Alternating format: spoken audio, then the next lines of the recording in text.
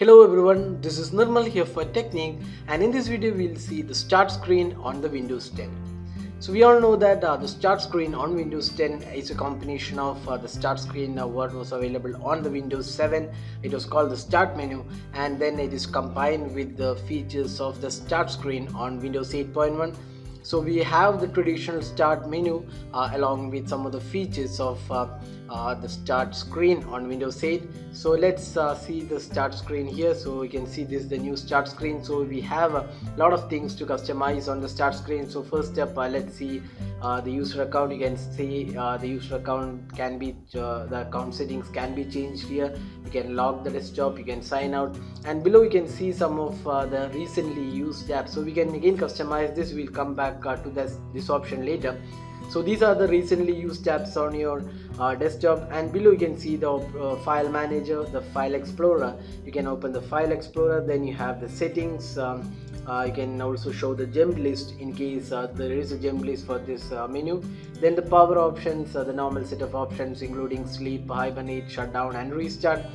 Uh, then you have the all apps list. So this is basically the list of all the apps uh, which is which include uh, the modern UI apps uh, the universal apps as well as the desktop apps. So you can see here all the apps which are uh, installed on the PC which includes the normal desktop apps as well as the universal apps are listed here.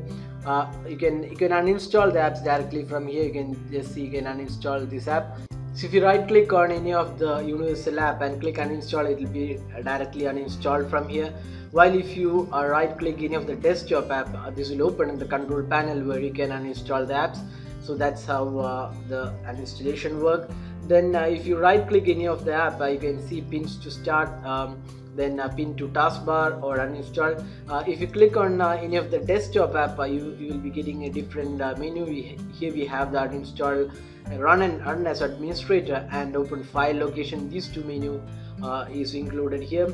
So apart from that you can quickly access um, the applications using this list. You can see here if you click the A or any of the alphabet you can see the list of uh, uh, the all alphabets uh, are listed here.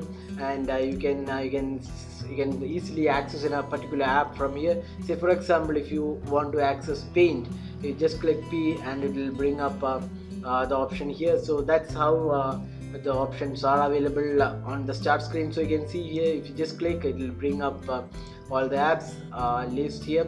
Now let's go back and uh, here we have the on the right side of the start screen you have this uh, pinned tiles. So these tiles can be rearranged. So if you click right click uh, you can unpin from the start uh, turn off live tile. If, if the if the tile has a live updation option you can turn off or on that option. Then uh, you have the option to resize. You can go to small uh, then resize wide tile. uh, you can uh, have a larger tile as well. That's a bigger tile uh, available. Then uh, let's come back to the medium option. So these are some of the options available in the start menu. So you can see here you can organize this into different categories. So you can see here if you click this you can have the option to uh, rename this option this um, uh, group. So you can basically group uh, these start menu items into different categories and uh, have um, different um, group set uh, say for example we have this essential group set tools uh, work related apps. So these can be customized. Then another option with the start screen is that you can resize the start screen. You can resize it horizontally or even vertically. So you can see I'm just resizing it uh, horizontally. And you can also resize it uh, vertically based on how much uh, screen uh, size it has to occupy. So that's uh, another useful option. Now if you go to the settings in uh, start menu so these are some of the settings. So you can see here start you can disable show recently used apps. So we have already talked about this. So this is most used app and the recently added app. So these two can be enabled or disabled based on uh, uh, how you want this to show up. Then you can use start screen uh, as full screen. Uh, uh, you can see this is just like how it was on uh, the windows 8 so we'll just show you that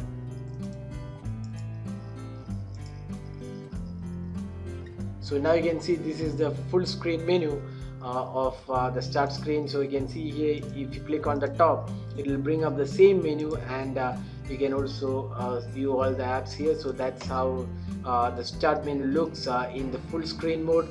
So if you don't want full screen you can just come back here and disable the full screen mode.